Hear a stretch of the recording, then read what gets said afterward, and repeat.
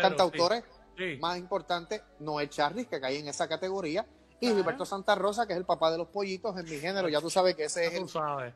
el cuento con Gilberto es que así mismo, no es un cuento, literal. A Gilberto yo no le avisé nunca. Yo, Gilberto iba a grabar conmigo, él sabía que era sí o sí. Yo, mira,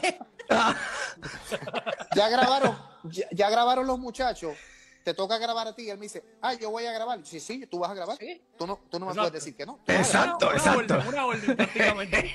Y, él- y- y él sabe que eso es así. Me dijo, no, tranquilo, cuando tú me digas.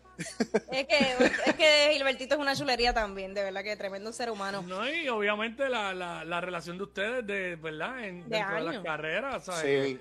Todos sabemos, Sí. ¿verdad? Es, es otro tipo de relación y, y- y con los compañeros también, en realidad, al responderme a este llamado, que es una canción tan comercial, porque nunca se me hubiese ocurrido quizás ocuparlo para algo comercial.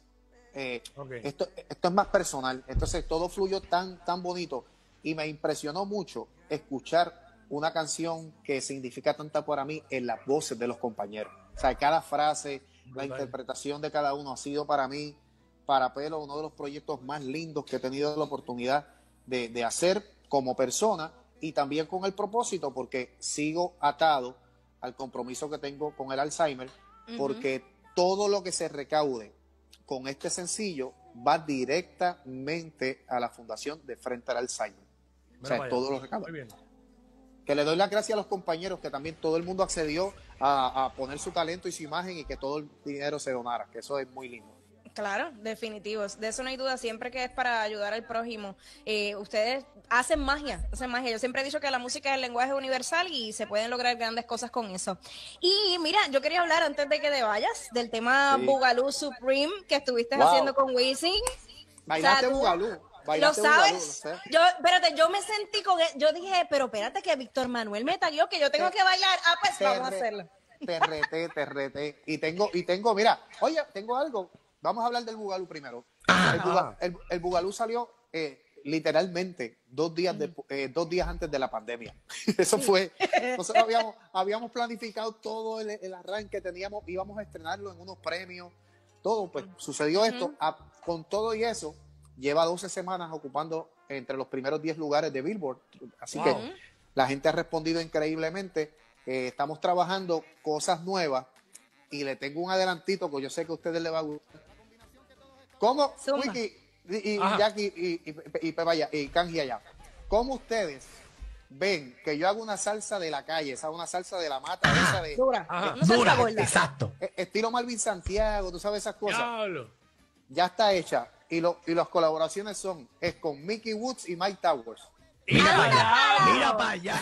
Ah, para allá. Yo lo quiero ver a Vicky en esa, Vicky. Ah, Vicky. Ahora Mike papi. Tower, qué duro. Tienes que verlo, pero calle, calle, calle, eh, tú sabes, tiraera, tiraera. Oye, eh, y, y la cuestión es que tú siempre has puesto a los, re- a los urbanos a cantar salsa. Salsa. Sí, eso- yo creo que ese- ese- eso, eso para mí ha sido la misión. Mira, eh, si hay una, una manera que yo puedo refrescar mi género y no dejar lo que se quede en otras generaciones, es que a la juventud le interese. Y de la manera que se puede hacer es trayendo a esos muchachos que son súper talentosos y ponerlos a cantar salsa.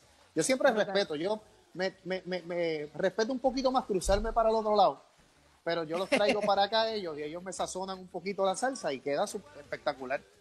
Sí, siempre Sí, queda, queda brutal. Y us- usualmente lo- los reggaetoneros, su base, y cuando se crían, siempre ellos dicen, no, la salsa, a mí me gusta la Sí, salsa. les encanta mucho la salsa, ¿Saben? exacto. Y ellos Es- saben.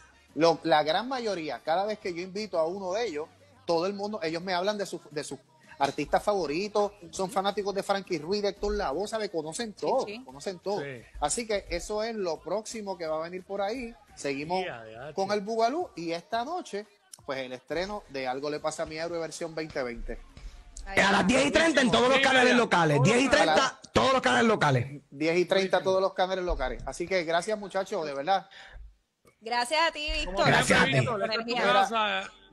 Jackie, saca esos cojines de encima de esa cama que molestan. Exacto, exacto. Sácalo, sácalo. Víctor, Los estoy Víctor, viendo de aquí, los estoy viendo de aquí. Víctor, Jackie, Jackie me texteó y dijo que va a ver, va a ver la versión de Algo le pasa a mi héroe entre los cojines, la va a ver esta noche. Ah, Cómoda, cómoda. te- tenemos, tenemos Team Cojines y, y Team 5. Y Jackie es de la que pertenece al Team de France. Y Sí. Wiki, tú estás conmigo, ¿verdad? Seguro, chacho, seguro. Todo el mundo está contigo, Víctor Manuel, seguro. ¿Para qué? ¿Para qué? Para afuera los cojines. Lucha, France, no te dejes, no te dejes, France. Víctor Manuel. Los quiero mucho, mi gente. Nos Gracias. vemos, Gracias, gracias, siempre. Víctor, gracias. Gracias. Víctor Manuel con nosotros aquí en WhatsApp en la nueva 94. Ya lo sabes, esta noche la versión, la nueva versión de eh, Algo le pasa a mi héroe, junto a Cani García, Gilberto.